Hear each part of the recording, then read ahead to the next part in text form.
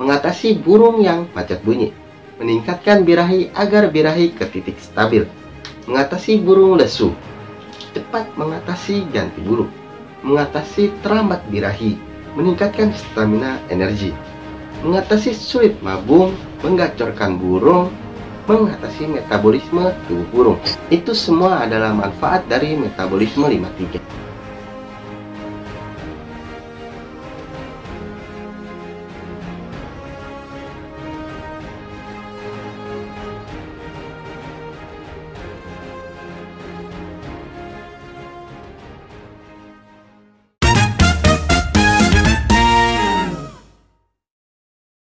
Assalamualaikum, salam sejahtera bagi para kicau mania.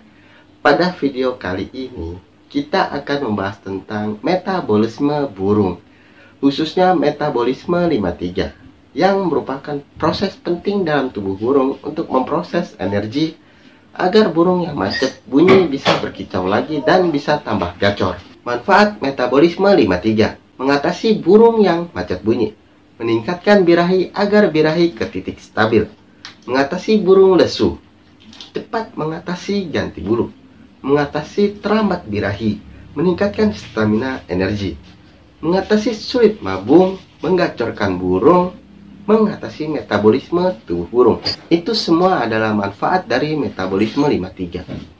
Bagi teman-teman yang mau, nanti saya akan kasih link pembeliannya di kolom deskripsi. Atau juga bisa cari di toko pakan burung terdekat di daerah teman-teman.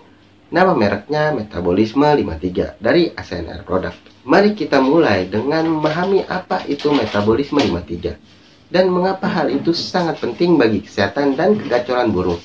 Metabolisme 53 adalah istilah yang digunakan untuk menggambarkan proses metabolisme dalam tubuh burung yang melibatkan transformasi nutrisi menjadi energi. Ini meliputi pemecahan karbohidrat, lemak, dan protein menjadi molekul yang dapat digunakan sebagai bahan bakar untuk aktivitas tubuh. Karbohidrat, lemak, dan protein adalah tiga macam nutrisi utama yang menjadi sumber energi untuk burung. Karbohidrat dipecah menjadi glukosa, lemak menjadi asam lemak dan gliserol, sementara protein dipecah menjadi asam amino. Semua ini kemudian masuk dalam siklus metabolisme 53 untuk diubah menjadi energi yang dapat digunakan oleh burung untuk berbagai aktivitas dan sehari-hari. Metabolisme burung dikendalikan oleh sejumlah faktor, termasuk hormon dan sistem saraf. Misalnya hormon tiroid berperan dalam mengatur laju metabolisme, sementara hormon insulin mengatur penggunaan glukosa.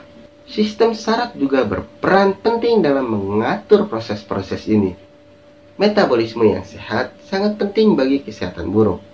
Gangguan dalam metabolisme seperti diabetes burung atau obesitas dapat menyebabkan berbagai masalah kesehatan serius.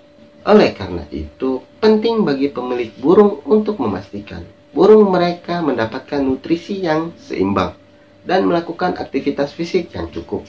Itu sekilas tentang metabolisme 53 pada burung. Semoga video ini memberikan pemahaman yang lebih baik tentang bagaimana tubuh burung memproses energi dan mengapa hal itu begitu penting.